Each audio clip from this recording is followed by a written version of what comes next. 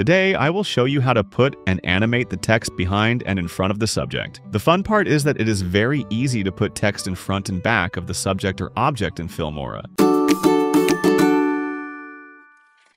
Import the footage you want to use for the text animation, and then drag it onto the timeline. Then go to the Titles tab. Drag and drop the default title on track 2, and make it 4 seconds long. Then go to the text setting, replace the existing text with yours, and then change the font.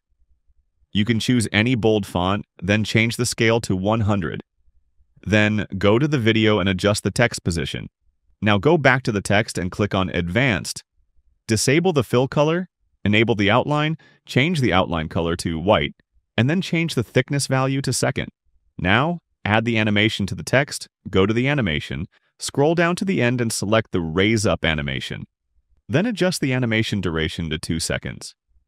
Then go to the Out animation, scroll down and select Round Zoom Out animation, and set the animation duration to 0.60 seconds.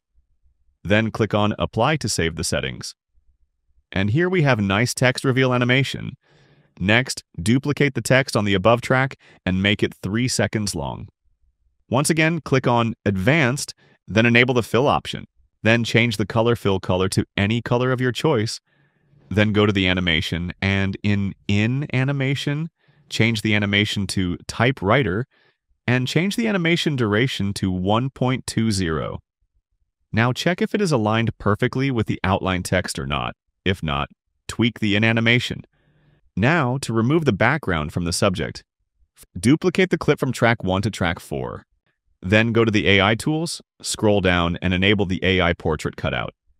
This tool allows you to remove the background with just a single click. Once the process is done, you can see it perfectly create a cutout of the subject.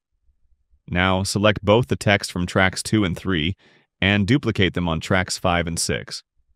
Then go to the text setting and change the text. Then select both the text and go to the multiple and change the position and scale. Then select all the clips except track 1 and shift two tracks above. Now to add a frame, go to the stickers and search for rectangular and you will get the frame. Place it on track 3, then at the start, increase the scale and take it out of the frame, and on the scale keyframe, then after 15 frames, change the scale to 76. Then duplicate the track 1 clip on track 2, change the opacity to 50% of the track 1 clip, then select track 2 clip and then go to the mask, select rectangle mask and adjust the mask according to the frame and on mask scale keyframe, then place the playhead at the start and increase the mask scale. Make sure it matches the frame zoom in. Finally, add an adjustment layer and do the final color grading. Now, let's render the project to see the final preview. With Filmora, you can animate your text easily. Get your hands on Filmora to create awesome text animation and take your editing skills to the next level. See you in the next video.